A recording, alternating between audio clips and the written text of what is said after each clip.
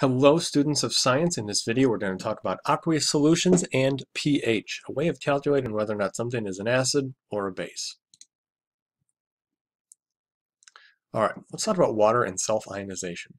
Pure water, as we've talked about before, is actually a very poor electrolyte. You put two electrodes in water, they're actually not going to light up that light very well, contrary to what Hollywood would lead you to believe with every movie involving electrocution. Water itself does not ionize very well. However, it will undergo a small amount of self-ionization and it will produce both hydronium and hydroxide ions. So here's my two water molecules formed with a weak hydrogen bond. They are going to slightly ionize. One of those protons is going to be transferred from one water molecule to the other. So we're going to have a hydronium cation and a hydroxide anion. So Water plus water is going to slightly dissociate, and this is a back and forth reaction to form the hydronium cation and the hydroxide anion. Again, same idea right here. And this is a reversible reaction. It's going to bounce between these quite a bit. The concentration of those in pure water is each going to be about 1.0 times 10 to the negative 7th moles per liter. That's not a very high concentration, but in pure water, they are both going to be even with that. Now, some notation for how we're going to be doing stuff for the rest of the year.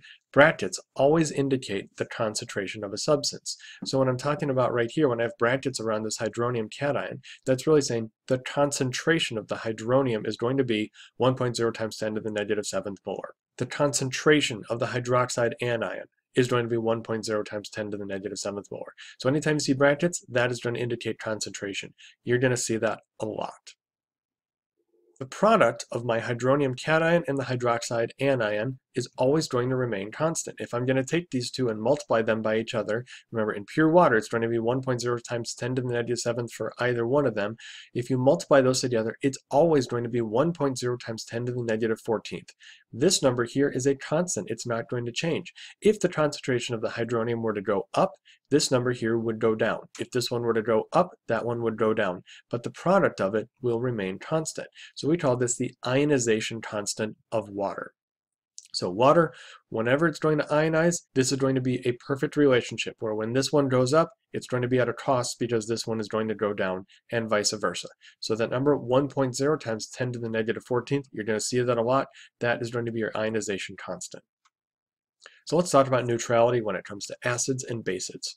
In pure water, those concentrations are going to be even. We would say that that is going to be neutral.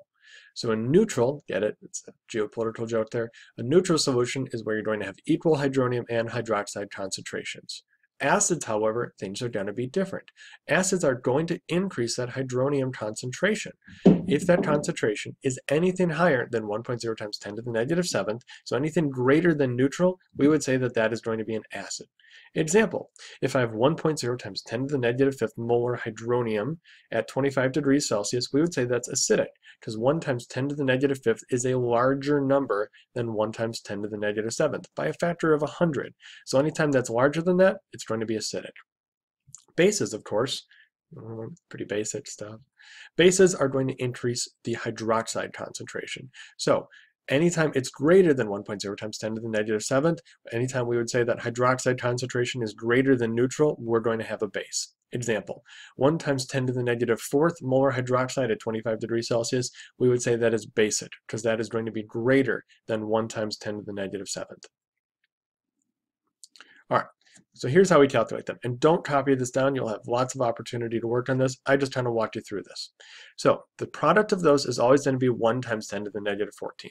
So if I have 0.01 molar sodium hydroxide, that's 1 times 10 to the negative 7th, if we're doing the math, that's going to completely dissociate in water to form 1 times 10 to the negative 7th molar hydroxide, because it's going to completely dissociate, so the concentration of sodium hydroxide will be the concentration of hydroxide. 1 times 10 to the negative second, or 0.01, is going to be a greater number than 1 times 10 to the negative seventh, 1.00001 molar hydroxide. So we would say the solution is basic.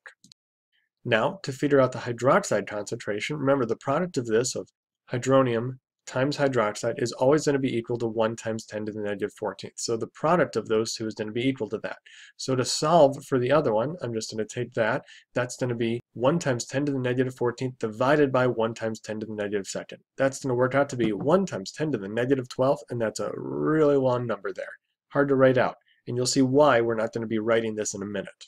Another example, 0.0002 molar hydrochloric acid, so that's 2 times 10 to the negative fourth, completely dissociates in water, because it's a strong acid, that's going to make 2 times 10 to the negative fourth molar hydroniums.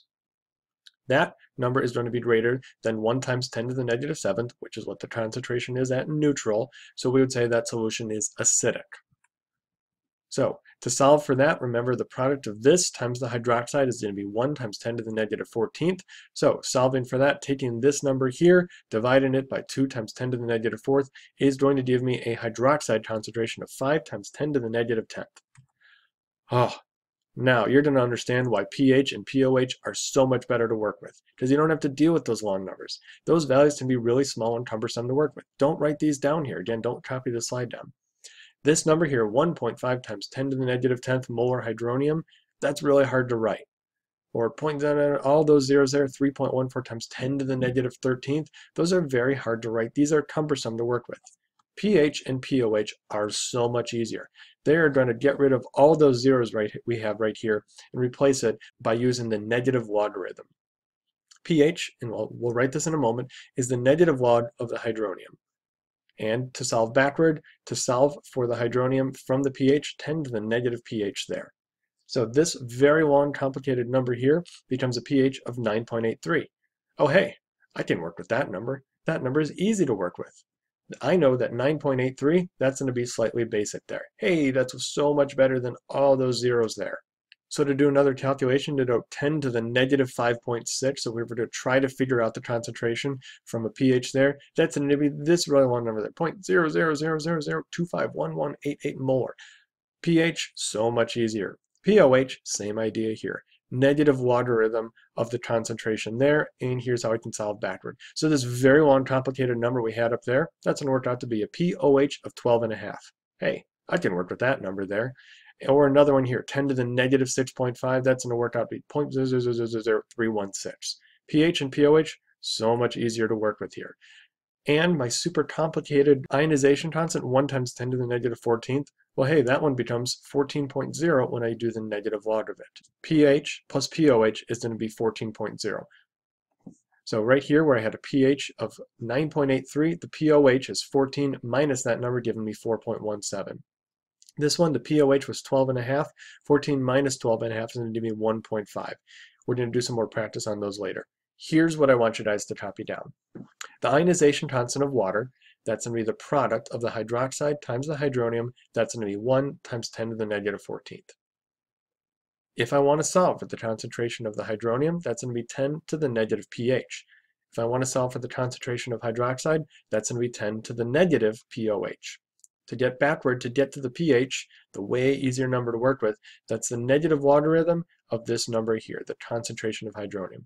pOH is going to be the negative logarithm of the hydroxide, this number right there. And pH plus pOH is always going to equal 14.0. This is what you need to know. This is what we're going to be practicing. This is what we're going to be calculating.